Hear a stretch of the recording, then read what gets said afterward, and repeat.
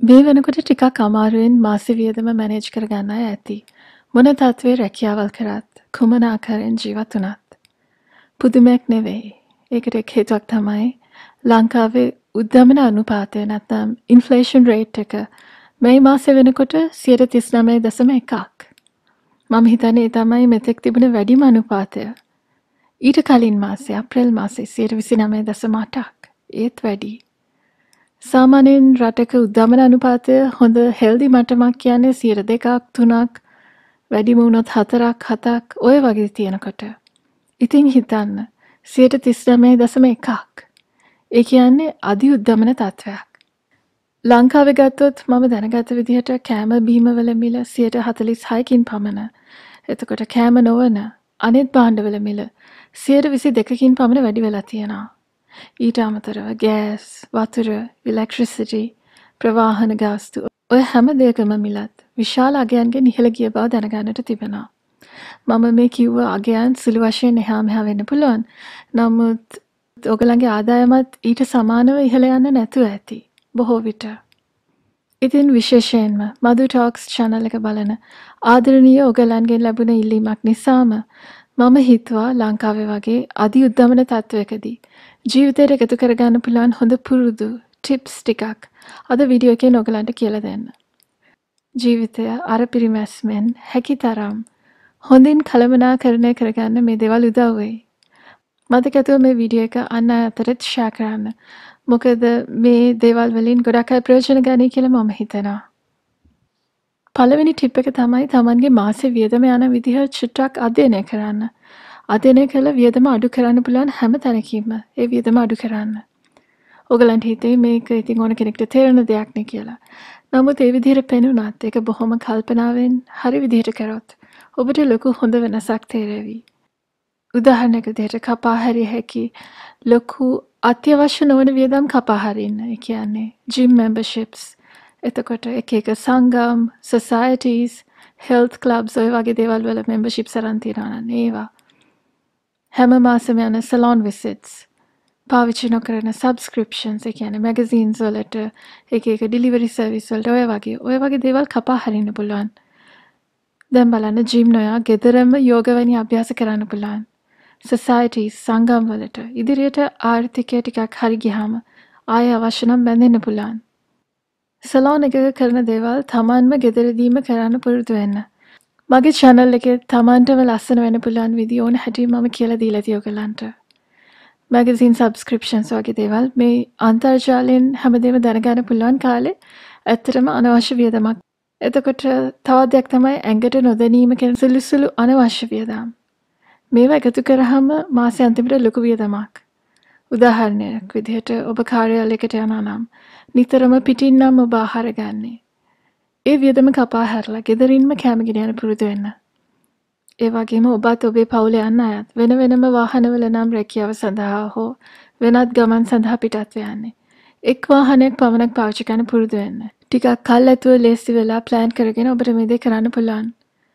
නැත්නම් ඔබ නිවසට ආසන්නව හෝ එම මාර්ගයේම ඉන්න කාර්යාලයේ අනිකුත් සේවකයන් සමග වියදම බෙදාගෙන එකම වාහනයක ගමන් කරන්න. එතකොට ගෙවල් මිදුල් පිරිසිදු කිරීමට ඔබ වෙනම වියදම් කරලා ආයතනවලට බාර දීලා තියනවා නම් එහෙමත් නැත්නම් පිට සේවකයන්ට බාර දීලා තියනවා නම් එහෙම බාර නොදී මේ දේවල් Tamanම ටිකක් මහන්සිලා කරගන්න. ලොකු මුදලක් ඉතිරි වෙයි. ඊළඟට ගෙදර මුළු තැන්ගෙට අවශ්‍ය දේ උයන්න පිහන්න අවශ්‍ය දේ මිලදී ගන්න එක වියදම් අවම වන විදිහට පරිස්සමින් කළමනාකරණය කරගන්න. සතියේ කෑම බීමට ආදායමට සරිලන බජට් එකක් හදාගන්න. ඒ අනුව වියදම් කරන්න. ලොකු ලොකු සුපර්මාකට් වලින් වෙනුවට ගේ ළඟම ඇති පොලකින් හෝ කඩවලින් මේ දේවල් මිලදී ගන්න. මිල ටිකක් අඩු වෙයි. සතියේ කෑම බීම හදන්න මීල් ප්ලෑන් එකක් හදාගන්න. ඒ කියන්නේ වේල් තුනටම හදන දේවල් මොනවද? හදන්නේ බද්ද, එහෙම නැත්නම් කන්නේ පාන්ද, පැස්ටාද, රොටිද, ඒවත් එක කන්න හදන කරීස්, මික්ස් කරන්න දාන ඉන්ග්‍රීඩියන්ට්ස් ඔය වගේ. වේලෙන් වේලට කනදේ කලින් ප්ලෑන් කරලා ඒ සතිය ප්ලෑන් එකට අවශ්‍ය එළවලු පළතුරු ආදිය විතරක් අවශ්‍ය ප්‍රමාණයෙන් මිලදී ගන්න. නාස්තිය ගොඩක් අවම වෙයි. කෑම හදලා ඉතුරු වෙන වැඩිපුර එළවලු ඒ කියන්නේ තව වේලකට කරි එකක් හදන්න මදි ඒත් ටික ටික ඉතුරු වෙන එළවලු තියෙන්නේ.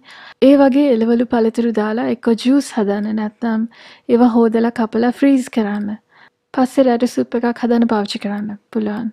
නැත්නම් වෙනත් කරි එකකට එකතු කරන්න පුළුවන්. අපතේ නම් යවන්න එපා. මුදල් ගොඩක් ඉතුරු වෙයි. සරල ජීවන රටාවකට වගේම සරල ආහාර රටාවකට හුරු වෙන්න. ගොඩක් සංකීර්ණ කෑම ජාති රෙසිපිස් හදන්න යන්න එපා මේ දවස්වල. පොඩි අය ඉන්නවා නම් ඒ අයටත් රටේ තත්ත්වය අර පිරිමැස්මෙන් ජීවත් වීම ගැන කියලා දෙන්න. කොච්චර මුදල් තිබුණත් නැතත් මේවා ජීවිතයට හොඳ පාඩම්. පිටින් කෑම ගන්න එක නතර කරලා ගෙදරම කෑම හදාගන්න. එතකොට ලොකු වියදමක් යන එකක් නැහැ. ඒ වගේම ඔබ මිලදී ගන්නේ කෑම හදන ඉන්ග්‍රීඩියන්ස් කෑන් කරලා තියෙන එතකොට පැකට් කරලා තියෙන ඉන්ග්‍රීඩියන්ස් මිල ගණන් අතින් ඉහළම බ්‍රෑන්ඩ් එකකින් නම් දැන් ටිකක් මිල ගණන් අඩු බ්‍රෑන්ඩ් එකකින් අවශ්‍ය බඩු මිලදී ගන්න. ටික කාලෙකට හරි. තවත් දෙයක් තමයි සමහර කඩවල තියෙනවා ෆ්‍රොසන් එළවලු පළතුරු විකුණන්න. මේවා ෆ්‍රෙෂ්වට වඩා ගණන් ටිකක් අඩුයි. නමුත් ගුණයෙන් අඩුවක් නැහැ. ඉතින් හැකිනම් ෆ්‍රෝසන් එළවලු මිලදී අරන් ෆ්‍රීස් එකේ දාලා තියලා දිගු කාලයක් පාවිච්චි කරන්නත් පුළුවන්. මිල අඩුයි. එතකොට සීසනල් එළවලු පළතුරු වලින් කැම බීම හදාගන්න පුරුදු වෙන්න. ඒ කියන්නේ එක එක කාලවලට බහුලව වැවෙන, බහුලව විකුණන්න තියෙන, මිල එච්චරම අධික නැති එළවලු පළතුරු තියෙනවා. ඒ සීසන් එකේ බහුලව තියෙන එළවලු පළතුරු සංසන්දනාත්මකව මිලෙන් අඩුයි. ඉතින් ඒවා පාවිච්චි කරලා ඒ කාලේ කැම බීම හදාගන්න හුරු වුණොත් තවත් ඉතිරියක්. ඊළඟ දේ තමයි බල්ක් මිලදී ගැනීම. ඒ කියන්නේ තොග මිලට ගන්න පුළුවන් වියලි ආහාර, සීනි, හාල් වගේ දේවල්. එහෙම ගන්න. ටික ටික මිලදී ගන්නවට වැඩිය දිගු කාලීනව 120 සිට 130 දක්වා ඉතිරි කරගන්න පුළුවන්. තොග මිලට මිලදීගෙන.